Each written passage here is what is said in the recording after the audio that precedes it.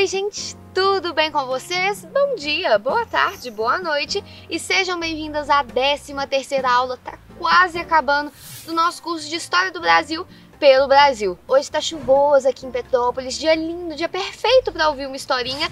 Senta que lá vem a história. E hoje a gente vai entender uma historinha muito importante, né? Continuando aí a nossa saga do período imperial brasileiro, nós vamos entender tudo que rolou durante o segundo reinado, né? Na última aula a gente entendeu um pouco sobre as revoltas que ocorreram no período regencial, a gente entendeu o que significa né, esse período. Caso você tenha perdido, volta aí para assistir a última aula e agora nós vamos entender tudo o que vai acontecer a partir do momento que Dom Pedro II assumiu o trono e virá imperador do Brasil. Então, pessoal, primeiramente, para já abrir a aula, um aspecto muito importante que eu tenho para comentar com vocês, que é algo que cai em muitas provas, já caiu no Enem no ano de 2015, é a questão da imagem pessoal de Dom Pedro II. Porque, pessoal, eu não sei se vocês se lembram na nossa aula de primeiro reinado como que a gente viu que a questão da imagem pessoal do imperador interferiu bastante, né, na aceitação dele pelo público, no fato do, do Pedro I ter abnegado do trono, ter, ter deixado o trono. Então é muito importante que a gente compare, né, a imagem que tinha Dom Pedro I e a imagem que tinha Dom Pedro II e a forma com a qual eles foram representados. Porque, pessoal, uma coisa muito importante é, quando a gente vê, né, o final do período regencial, a gente pensa, meu Deus do céu, vamos colocar um menino de 14 anos no poder e depois, à medida que a gente vai estudando, a gente vai vendo como que em certos aspectos, né, o governo do Pedro II foi muito mais positivo do que o Pedro I. E para isso a gente tem que ter noção de algumas coisas, né? Primeiramente, o Pedro II ele já nasceu herdeiro do trono, né? Ele nasceu aí para realmente herdar a coroa brasileira. É, quando ele nasceu, o Brasil já era uma nação independente, já estava estabelecido o primeiro império.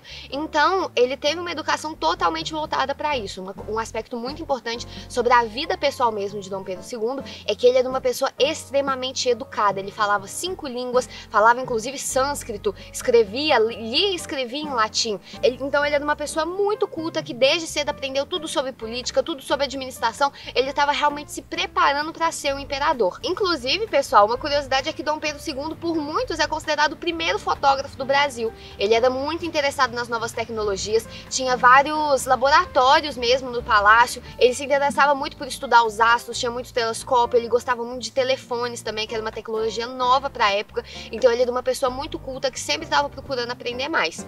E além disso, pessoal, ele não só era uma pessoa muito educada, mas ele também era uma pessoa muito controlada e muito medida. Porque uma coisa que ele observou, né, foi como a opinião pública era negativa com o pai dele, justamente porque Dom Pedro I, né, pessoal, vocês que viram o vídeo, vocês vão se lembrar, como que Dom Pedro I muitas vezes era impulsivo, muitas vezes era agressivo e autoritário nos seus atos. Então, ele tinha muito medo de ter essa imagem negativa que o pai dele tinha, então ele era extremamente controlado em tudo que ele fazia e isso foi um fator extremamente positivo. E além disso, pessoal, outra coisa importante também são as representações, porque as representações feitas de Dom Pedro I e de Dom Pedro II, elas diferem por um fato muito importante, que foi justamente isso que caiu na questão do Enem em 2015.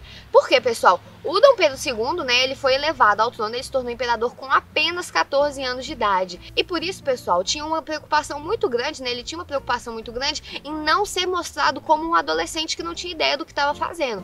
Ah, sempre foi buscado né, mostrar o Dom Pedro II não como um adolescente jovem, mas principalmente como um homem mais velho, realmente um líder de Estado. Então isso é visível em muitas obras de arte que retratam ele, né? Como que ele é envelhecido. Principalmente nas né, figuras mais famosas de Dom Pedro II que a gente tem, ele já tá velho, com a barba branca. Então é muito importante a gente observar como temos muitas figuras de Dom Pedro II jovem, várias, mas geralmente ele é envelhecido nas pinturas justamente para dar essa imagem, né, para mostrar por meio das pinturas, né, para mostrar para o povo que eles tinham um imperador preparado, um imperador maduro para assumir o trono. Então isso assim é uma questão muito interessante, né, porque enquanto Dom Pedro I sempre queria se mostrar mais jovem, mais bonito, o Dom Pedro II fazia um pouco mais de questão de, de ter uma figura um pouco mais madura e um pouco mais envelhecida. Mas agora a gente já vai começar começando, porque não tem como falar de segundo reinado sem falar de política, sem falar de muita, muita política. Por quê, pessoal? Uma coisa coisa que pode até te ajudar a memorizar o primeiro, o segundo reinado é entender que o primeiro reinado ele foi muito conturbado, só que internamente, né? As elites políticas estavam constantemente brigando, não havia consenso sobre o que seria melhor. A Constituição, né, gente, primeiro foi, outor foi otorgada e tudo mais. Então teve muita treta interna, mas no âmbito externo, Dom Pedro I conseguiu remanejar bem, assim. É claro que sempre vão ter as tretas da Inglaterra, né, em relação à escravidão, mas vai conseguir remanejar bem é, a questão das relações internacionais. Mas agora, no segundo reinado, a gente vai entender agora como que Dom Pedro II deu um jeito de trazer paz, de trazer um relativo, um relativo equilíbrio para a política brasileira que estava muito conturbada anteriormente, mas as relações internacionais vão falhar. Então, o primeiro reinado foi um momento de caos interno e paz externa, né, com as nações exteriores, e o segundo reinado vai ser o contrário, vai ser um momento de paz relativa paz interna e relações, é, relações internacionais mais complicadas. Então, pessoal, agora a gente vai entender um pouquinho de política, vai entender quais eram os grupos políticos que estavam aí mais proeminentes e vai entender como que o Dom Pedro II deu um jeito de apaziguar essa galera. Para entender isso tudo, a gente vai começar com uma frase que já diz tudo. É uma frase muito famosa que você provavelmente já deve ter visto, né, em algum livro didático que é da historiadora Holanda Cavalcante. E ela diz simplesmente: Nada se assemelha mais a um Saquarema do que um Luzia no poder. E é muito importante, pessoal, primeiramente, glossário, né? Saquarema era uma cidade aqui no Rio de Janeiro onde os conservadores tinham terras, né? Eles, eles meio que dominavam aquele local, aquela cidade. Então, Saquarema virou sinônimo de conservadores. E Luzia, né, é uma, é uma referência a uma cidade de Minas Gerais chamada Santa Luzia, onde em 1842 ocorreu a maior derrota dos liberais. Então, Saquarema era um apelido para os conservadores e Luzias era um apelido para os liberais. Então a Holanda, ela fala, né? Nada se assemelha mais a um Saquarema do que um Luzia no poder. Porque, pessoal, é muito importante a gente entender.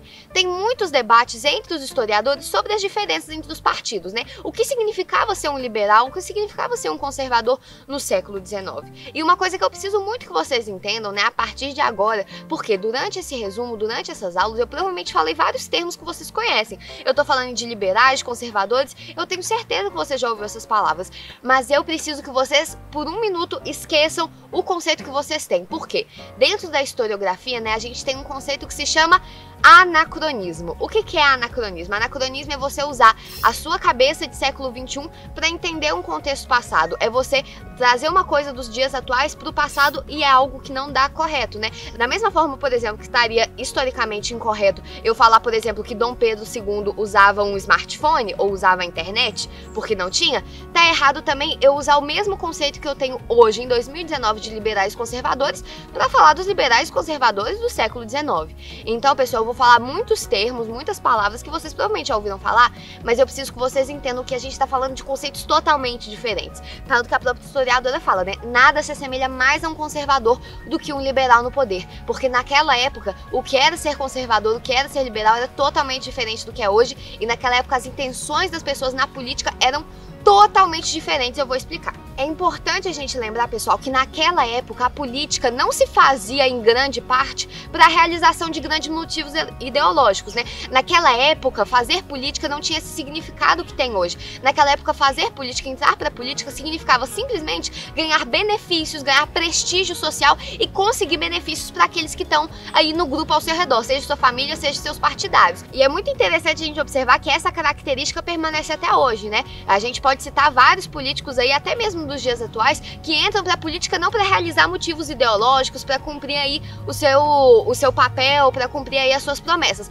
mas para ganhar benefícios próprios e para pessoas ao seu redor e também para ganhar prestígio social. Então isso é uma característica muito marcante na época, né? Em grande parte, as ações políticas não eram motivadas por ideologias e por crenças, elas eram motivadas pelos benefícios, né? Há tanto que a elite, né, deu para vocês verem pelos últimos episódios da série, né, como que a elite era movida não simplesmente por eu acredito nisso, eu acredito naquilo, eu acho que esse candidato, a monarquia é melhor ou não ter monarquia é melhor, eles simplesmente pensavam, quem vai atender aos meus interesses, quem vai fazer o que eu quero que seja feito e eles iam atrás dessa pessoa. Então é muito interessante a gente observar isso, né, que diferencia totalmente da nossa política atual. Até porque, pessoal, não era esperado que os políticos cumprissem as promessas que eram feitas, né? Era esperado simplesmente que ele atendesse aos interesses das pessoas que tinham ajudado eles a conseguir aquele cargo político. Até porque é importante lembrar, a população tinha direitos políticos quase nulos, né? Pouquíssima gente tinha o direito de votar, pouquíssima gente tinha participação política política. O voto era indireto, então você não votava diretamente. Então, assim, tinham muitas formas, né, muitas manobras políticas que podiam ser executadas para você conseguir os seus interesses. Os políticos não precisavam dar satisfação pro povo, afinal não era o povo, não era o povo em geral, né, que decidia quem estaria lá na política. Inclusive, daí, né, a gente vê a importância de hoje nós temos os nossos direitos políticos. Mas enfim, voltando pro século XIX. Então, pessoal, os conservadores e os liberais, eles usavam as mesmas manobras para chegar ao poder. Muitas vezes usavam a violência, muitas vezes usavam o suborno. Inclusive, né, era socialmente aceito uma certa quantidade dessa violência para angariar votos. Era normalizado que houvesse uma certa violência aí na época eleitoral. Inclusive, pessoal, a frase, né, da, da autora Holanda, quando ela diz que um, nada é mais parecido com um Saquarema do que um Luzia no poder, é tão real porque é muito importante a gente lembrar que esses grupos políticos eram todos de elite. Então, todos esses grupos, né, os, tanto os liberais quanto os conservadores, queriam a manutenção da hierarquia social que existiam, queriam a manutenção da escravidão, queriam manter o direito à propriedade. Então, assim, eles concordavam em grande parte, né? Eles uh, queriam a manutenção da hierarquia, da ordem social, da escravidão. Então, o que vai diferenciar mais, né, os saquaremas dos luzias vai ser justamente posições, por exemplo, sobre federalismo, né, a autonomia que as províncias deveriam ter, ou então sobre a presença ou não do poder moderador. Vai surgir uma, um pequeno republicanismo, eu vou explicar isso para vocês. Então, vão ser essas questões pontuais que vão diferenciar uns dos outros. Mas agora vamos fazer essa diferenciação para ficar bem claro. Primeiramente, os conservadores, saquaremas, que que era em geral, né? Os conservadores eram burocratas do governo, grandes proprietários rurais, muitas vezes até comerciantes que tinham medo da grande agitação que acontecia nas cidades, né? Tinha medo disso, a, disso ameaçar a ordem social, principalmente a elite do Nordeste e do Rio de Janeiro, tá, pessoal? Lembrando, a elite do Nordeste, eles eram muito mais conservadores, eles eram muito mais antigos, eram os grandes senhores de engenho, muitos que estavam em decadência. Mas que falta de sorte.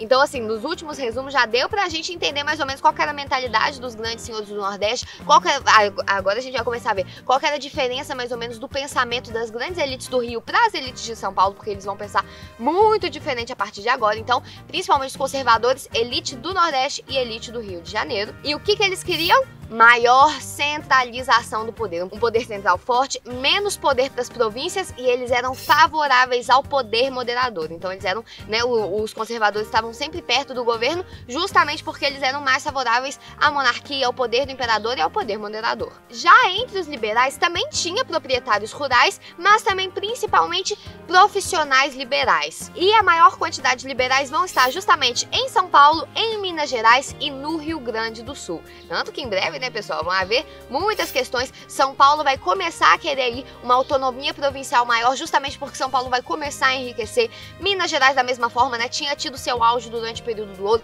queria ter uma autonomia maior. E o Rio Grande do Sul vai ser um foco aí de participação política muito importante. Getúlio Vargas, que o diga, né? Daqui a algumas décadas. Então já vão guardando aí o nominho do Rio Grande do Sul, porque eles vão causar nesse país. E assim, pessoal, eu não tô falando que os conservadores liberais parecem. Então, porque os liberais também queriam a centralização do poder, mas eles queriam uma centralização mais restrita, né? E os liberais, pessoal, eles queriam uma ampliação do poder provincial. Eles queriam poder centralizado, porém nem tanto, né? Eles tinham críticas à centralização do poder. Eles queriam que as províncias tivessem mais autonomia para fazer o que elas quiserem. Eles também criticavam o poder moderador. Igual eu falei, pessoal, os profissionais liberais, eles não eram tão altos na hierarquia social, então eles pensavam muito mais na opinião pública, mas principalmente, pessoal, eles queriam maior representação política e isso vai ser importantíssimo. O que, que significa ter uma maior representação política? É você ter mais.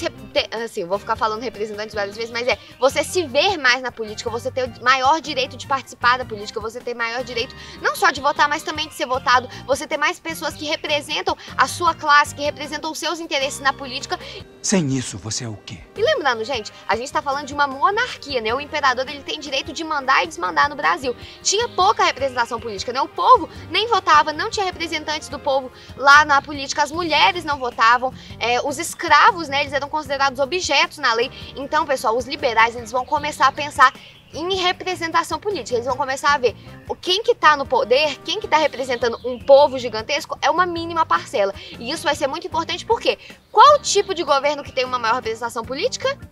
República. Então, pessoal, daqui a pouco vai começar a surgir uma semente de republicanismo, né? Porque muitos, muitos grupos políticos vão começar a pensar, queremos representação política, mas eles vão começar a pensar que isso não seria possível, né? Eles vão começar a olhar para o sistema monárquico, vão pensar que a monarquia não abriria alas, né? Que não abriria espaço para uma maior representação política. Eles vão querer maior representação política, mas ao mesmo tempo eles também vão começar a pensar que isso não caberia dentro de um sistema monárquico. Então vai começar a nascer uma semente, a semente de um movimento republicano, de pessoas que querem maior representação política, que querem uma república, porque não se veem representados na monarquia, não veem que a monarquia atende aos seus desejos, não veem que a monarquia representa verdadeiramente o que o povo quer, não vê que a monarquia leva em...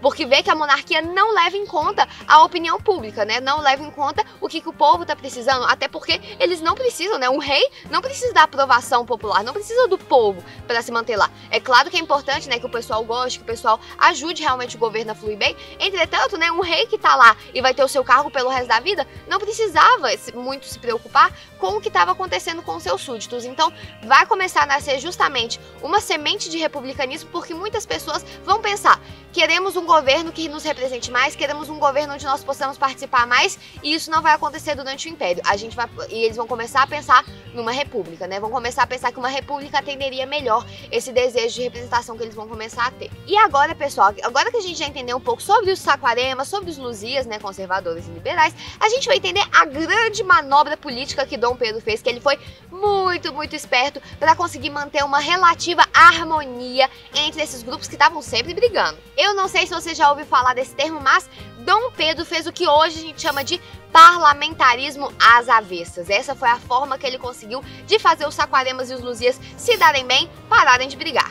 Porque, pessoal, começou a funcionar um sistema de governo parecido com o governo parlamentar, mas não confundam, ok? Até porque a Constituição de 1824 não tinha nada de parlamentarista, né? Porque o poder executivo era chefiado pelo imperador e executado por chefes de estado que eram livremente nomeados por ele, né? O imperador que ia escolhendo todo mundo que se submetia a ele, todos os cargos políticos abaixo dele.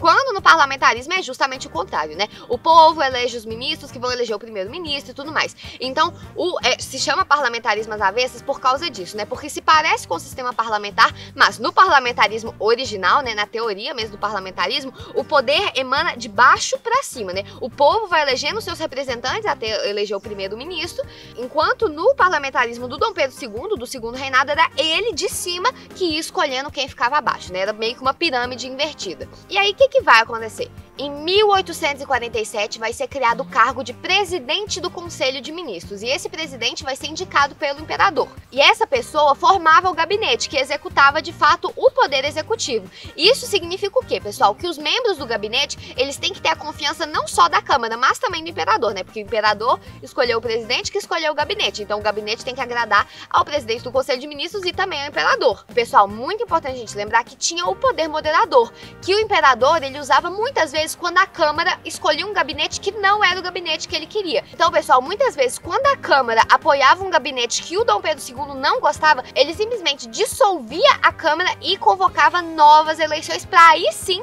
serem eleitos as pessoas que ele queria que fossem. Porque, como nas eleições o peso do governo era muito grande, né, o Dom Pedro conseguia eleger uma Câmara que combinasse com o gabinete que ele queria no poder. Pessoal, qual que foi o resultado desse manda e desmanda do Dom Pedro II, que convoca novas eleições, dissolve a Câmara que ele não gosta, forma novos gabinetes? Qual que foi o resultado disso?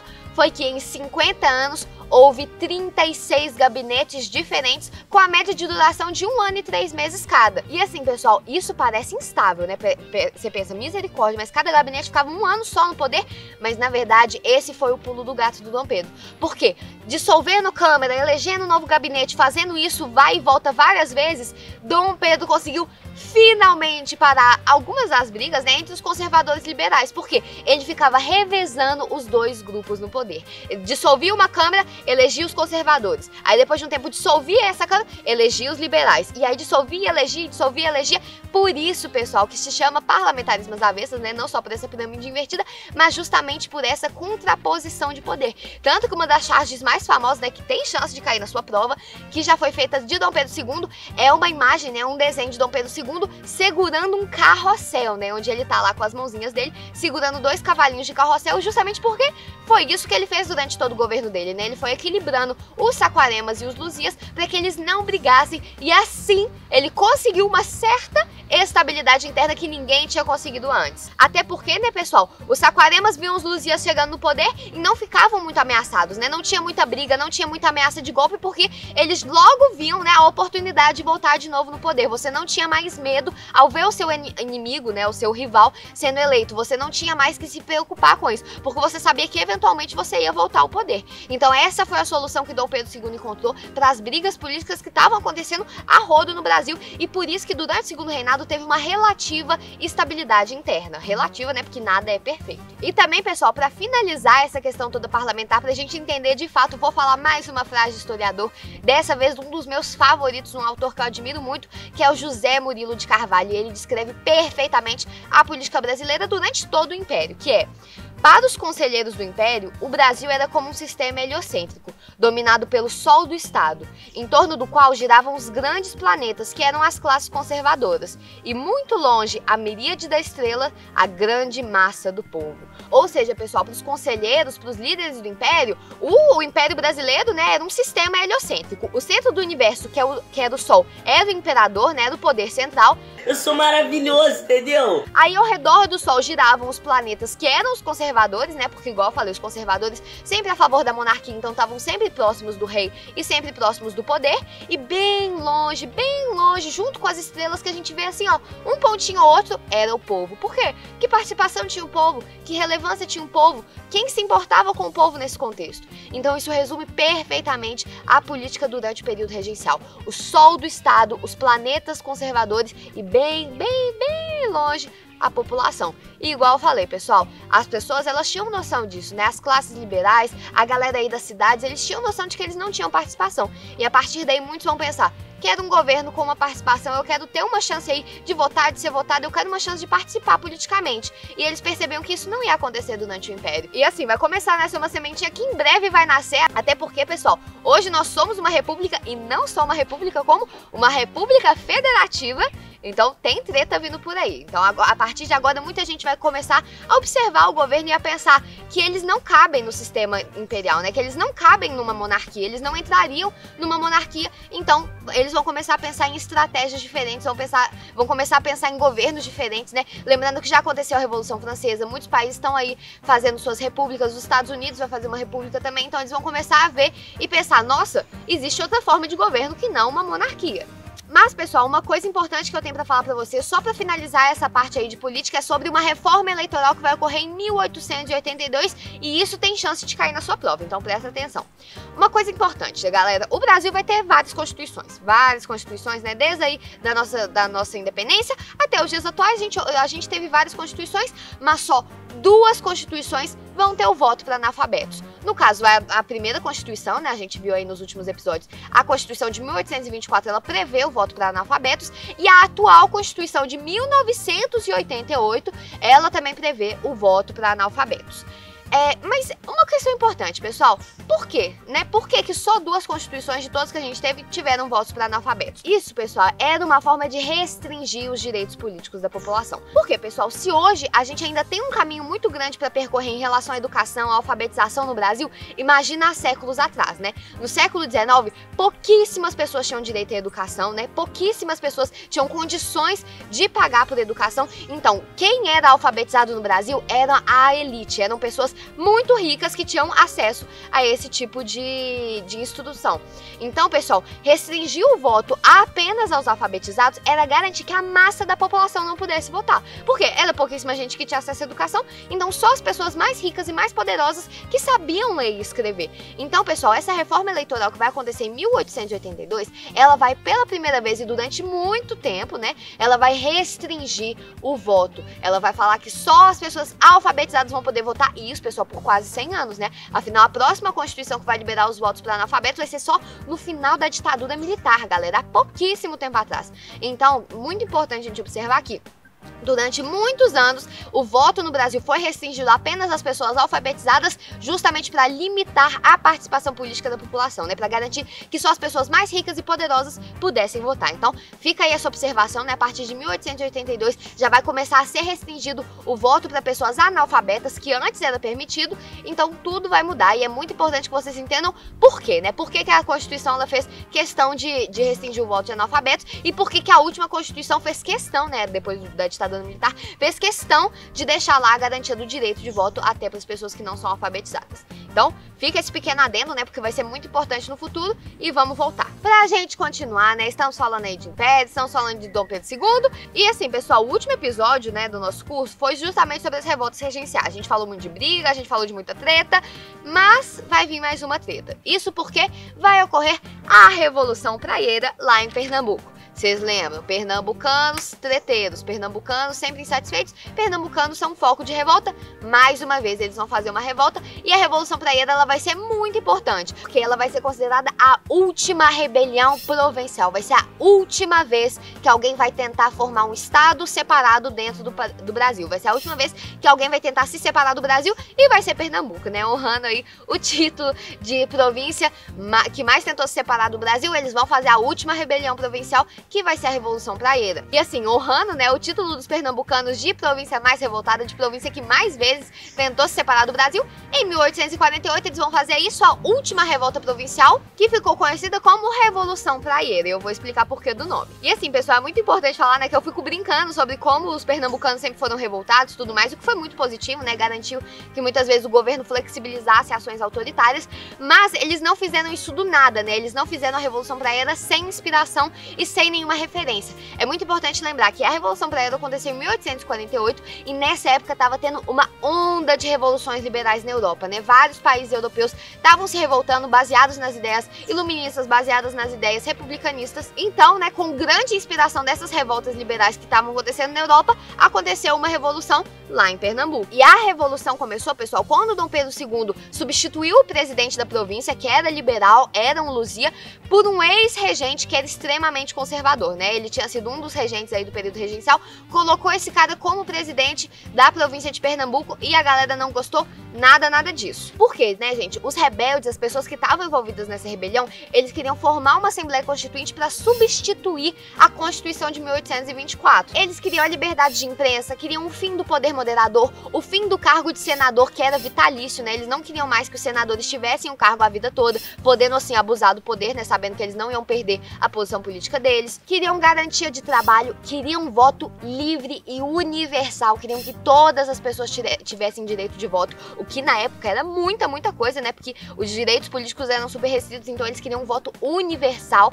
Pra, isso era um grande avanço para a época. E além disso, eles também queriam a nacionalização do comércio varejista, que na época estava nas mãos dos portugueses. E a revolução ficou conhecida como praieira, pessoal, porque os liberais, né, os liberais que estavam envolvidos na revolta, eles se reuniam na sede de um jornal chamado Diário Novo, que ficava na Rua da Praia, lá em Recife. Então eles ficaram conhecidos como praieiros. Quando houve nessa né, troca de presidente que o Dom Pedro II fez, eles acharam aquilo um absurdo, acharam aquilo extremamente autoritário e começaram uma luta armada. E assim, pessoal, não vou nem me estender sobre isso porque a gente já viu, a política do império é violentíssima quando tem alguma revolta e dessa vez não foi diferente, né? A reação imperial foi muito rápida e todos os líderes da revolução foram presos. Alguns foram inclusive mortos, mas todos acabaram anistiados alguns anos depois. E a Revolução Praieira, pessoal, ela foi muito importante porque ela representou a vitória aí do império sobre o regionalismo, né? Representou que agora sim o império está estabelecido, o Brasil não vai se fragmentar, o regionalismo não vai mais vencer. Então, a Revolução Praieira ela foi muito importante porque justamente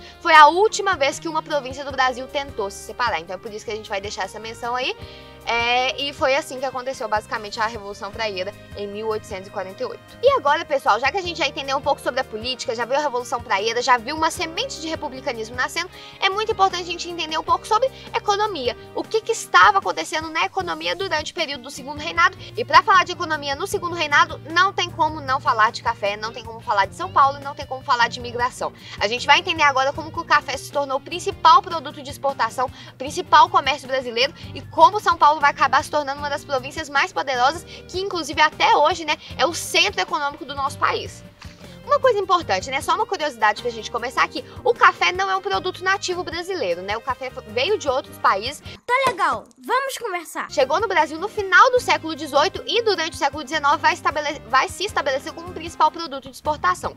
Isso porque, pessoal, igual eu falei, o café não é um produto nativo brasileiro, mas aqui, principalmente no sudeste do Brasil, a gente tem terras muito propícias para o cultivo de café e isso vai ser percebido por grande parte da população. A região chamada de Vale do Paraíba, que é entre Rio, São Paulo e até mesmo um pedacinho de Minas Gerais, tinha uma extensão muito fértil para cultivo de café. Além disso, o clima era bastante favorável e grande parte da região era pouco habitada, né? Vai ocorrer um grande, uma grande expansão aí para o oeste paulista justamente quando eles descobrirem essas extensões de terra propícias para plantar café. E vai começar também, né, junto com essa expansão aí pro Oeste Paulista, vai começar uma briga por terras, gente. E essa briga vai ser violentíssima, porque muitas terras eram ocupadas, né, muitas terras tinham donos, tinham proprietários, mas isso tudo estava muito instável. Eu não sei se vocês se lembram, né, coisa antiga que eu já falei várias aulas atrás, mas sesmarias, latifúndios. Então, pessoal, as posses de terra, elas eram pouquíssimo claras, né? Tinha gente que tinha uma posse de terra, mas a posse de terra, outra pessoa também tinha a posse daquela terra,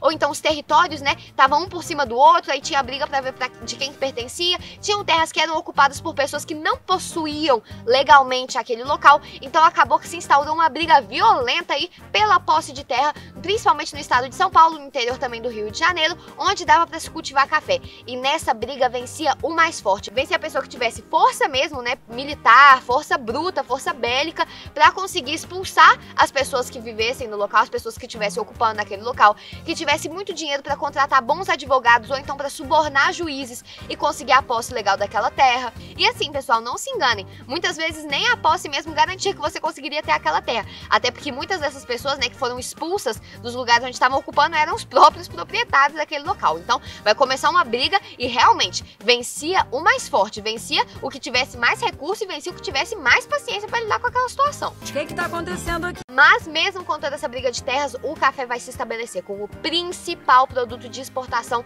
no nosso país. E isso é muito importante a gente ter em mente, pessoal. Principal produto de exportação, ou seja, a importância do café na economia é gigantesca. Então, tudo vai mudar, né? O cenário vai mudar, a necessidade de mão de obra ela vai aumentar, a riqueza, né, principalmente do estado de São Paulo, ela vai aumentar muito. O sudeste do Brasil vai começar a se tornar um polo econômico super importante. Tudo vai mudar. E agora vamos falar um pouco sobre mão de obra, né? Porque a mão de obra primordial do sistema cafeiro eram principalmente escravos e depois imigrantes. E agora a gente tem que entender um pouco sobre a imigração no Brasil, né? Porque assim, usar a escravidão como mão de obra, a gente já entendeu de código salteado por que, que era feito e quais eram as dificuldades para impedir aquilo de acontecer. Mas agora, imigrantes, pessoal, né? Por que, que vieram imigrantes para o Brasil? Por que, que o Brasil incentivou os imigrantes a virem de outros países, a virem de longe, ao invés de, por exemplo, é, transformar os escravos em mão de obra salariada, ou então até mesmo de incentivar as pessoas do Nordeste a virem para cá, né? Porque o, o açúcar no Nordeste estava em decadência. Tinha muita gente que estava realmente passando por dificuldade, tinha ondas de fome de vez em quando, né, por causa de seca. Então, por que, que não incentivaram a galera que estava com dificuldade a ir para São Paulo para plantar café, ou então simplesmente transformar a mão de obra escrava depois que a escravidão acabou em mão de obra salariada? Primeiramente, pessoal, uma palavra que resume tudo é preconceito. E a gente, assim, já sabe de cor salteado o tanto de preconceito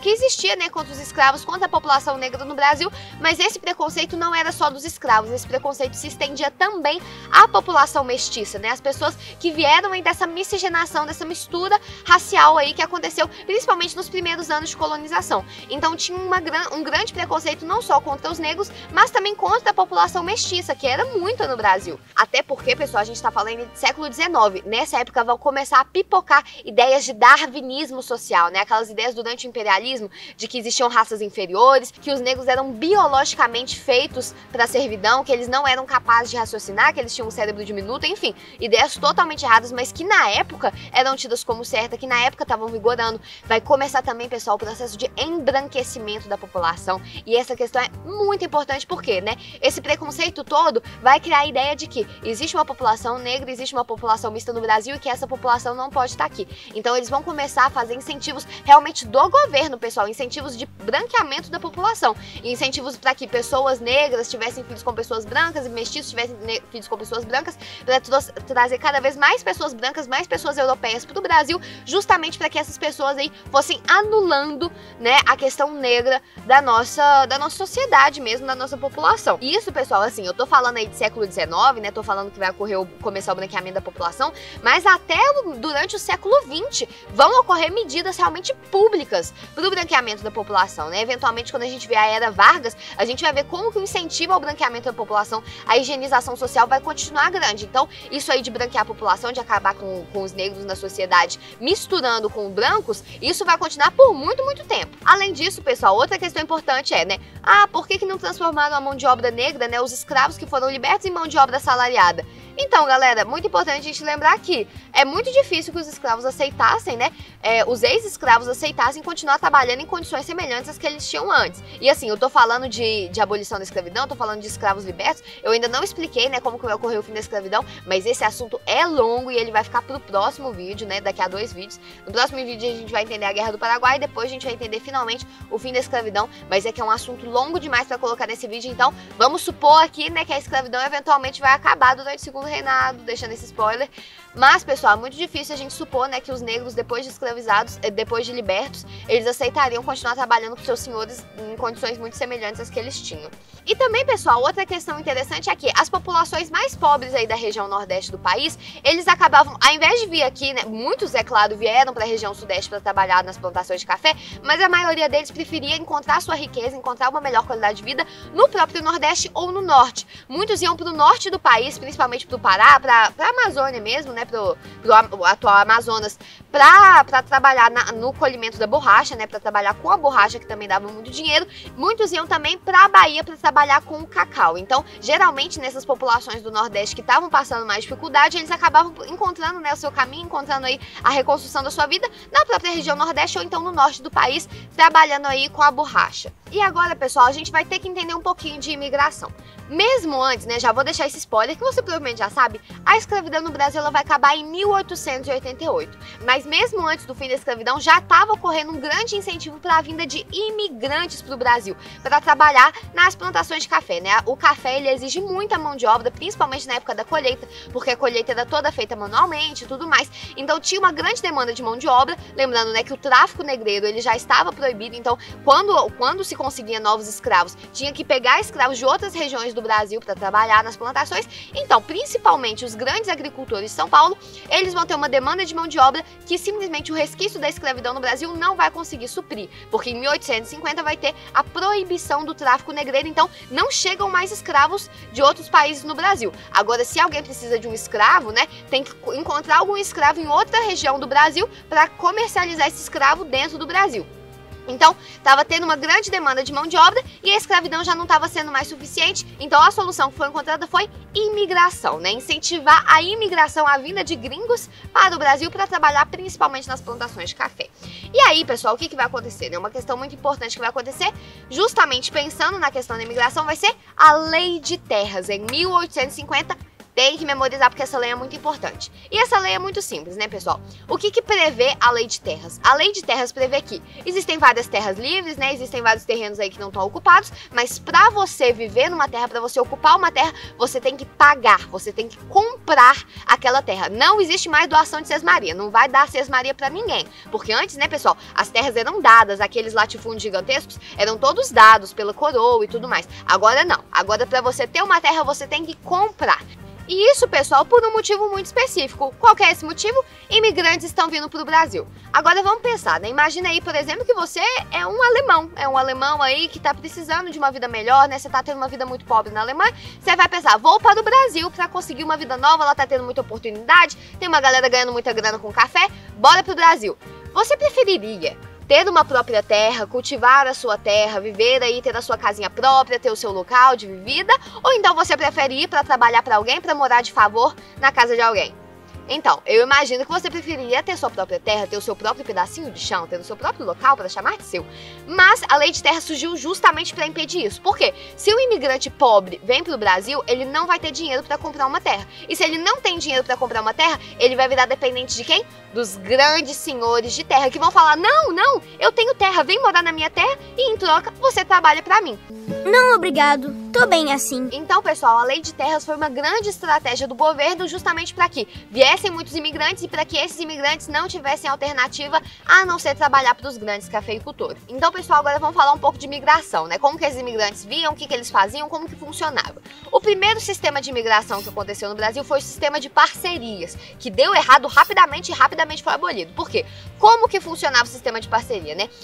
Uma pessoa, um dono de terra, um cafeicultor, pagava a viagem de uma família, né, para a família vir aqui para o Brasil e e a família, né, obviamente já chegava endividada, né, porque ela já estava devendo aí o preço da viagem, o preço da estadia para esse senhor. E aí essa família ela morava dentro da propriedade, tinha que trabalhar e um pedaço da um pedaço do trabalho sempre ficaria para o senhor para pagar a dívida e a pessoa, claro, né, ela já chegaria endividada e ela teria que trabalhar para esse senhor para pagar a dívida. Só que a questão é, muitas vezes o sistema de parceria ele era comparado à servidão, porque as pessoas não só viviam em condições ruins, mas também elas ficavam eternamente endividadas. Por quê? Elas já chegavam com a dívida da viagem e iam acumulando dívida, porque a dívida do lugar onde elas estavam, a dívida da comida que elas comiam. Então o trabalho que elas faziam nunca era suficiente para sanar essa dívida. Então esse sistema de parcerias rapidamente acabou, justamente porque até os próprios países perceberam, né? A Itália fez uma propaganda fortíssima, desincentivando as pessoas de virem para o Brasil, porque as condições aqui não eram boas. E enquanto a Itália estava fazendo propaganda falando não vão para o Brasil, o Brasil estava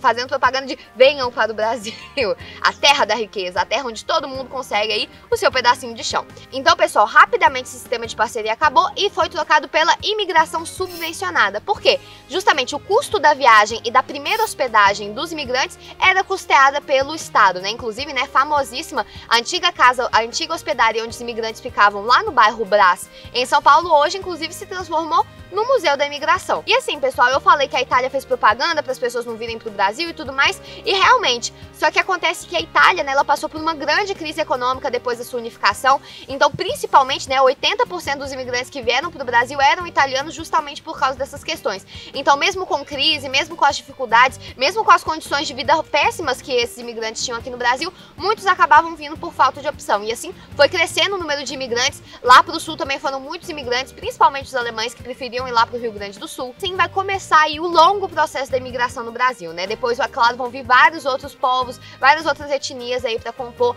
a nossa cultura, mas principalmente no início aí da, do processo de imigração, a maior parte, assim, 90% dos imigrantes eram principalmente italianos e alemães. Vinham muitos, muitos alemães aqui para o Brasil.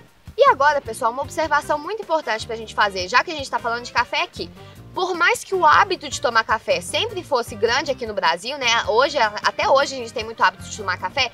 Nunca, o mercado interno brasileiro nunca foi suficiente para o tanto de café que era produzido. Ou seja, o Brasil produzia muito mais café do que os brasileiros consumiam, ou seja, era dependente da exportação, né? Principalmente exportação para os Estados Unidos. Os Estados Unidos foi um dos grandes consumidores do café brasileiro.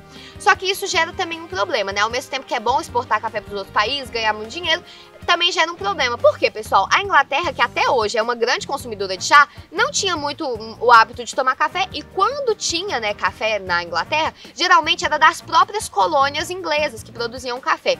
Então, pessoal, eu não sei se vocês já perceberam nessa altura do campeonato, mas o Brasil, desde a época de que era uma colônia de Portugal, sempre foi extremamente dependente da economia inglesa, né? Sempre dependia muito da Inglaterra para conseguir empréstimo, sempre dependia muito da Inglaterra para conseguir validação aí no mercado econômico e a, a dívida brasileira com a Inglaterra sempre foi muito grande e a Inglaterra não era consumidora dos produtos brasileiros. Então, pessoal, enquanto os brasileiros eram grandes consumidores dos produtos ingleses, a Inglaterra não consumia muitos produtos brasileiros. Então, o Brasil estava cada vez mais enriquecendo a sua dívida com a Inglaterra, mas não estava conseguindo dar à Inglaterra dinheiro suficiente para pagar essa dívida. Então, vai começar aí problemas econômicos grandiosos que vão persistir durante muito tempo. Também, pessoal, igual vocês já devem ter começado a perceber, não só pela decadência do açúcar, mas principalmente pela grandiosidade do café, vai começar um processo de decadência do Nordeste e o polo econômico do Brasil vai se deslocando, né? Vai indo cada vez mais ao sul, até que hoje, né, pessoal, o polo continua sendo São Paulo. Então, antes, né, o polo econômico brasileiro era principalmente o Nordeste, com a produção de açúcar.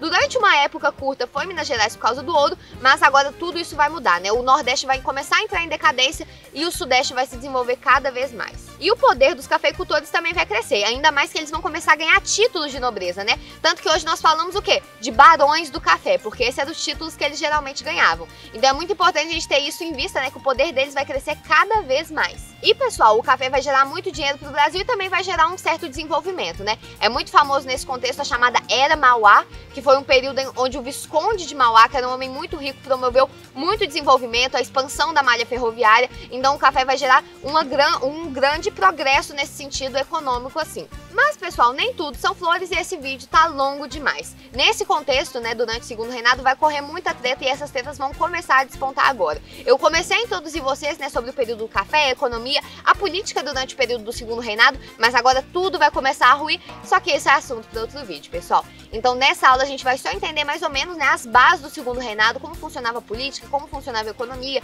como foi a Revolução Praieira, mas nas próximas aulas a gente vai entender a queda do segundo reinado e principalmente, né, um conflito gigantesco que vai acontecer por agora, que vai ser a Guerra do Paraguai. Então não vou deixar esse vídeo longo demais para conseguir ver vocês na próxima aula. Muito obrigada pela atenção, eu espero que vocês tenham gostado do vídeo, espero que tenham aprendido uma ou duas coisinhas. Não se esquece de se inscrever no canal para receber uma notificação quando o próximo vídeo sair e eu vejo vocês na próxima aula. Muito obrigada pela paciência, um beijo até o próximo vídeo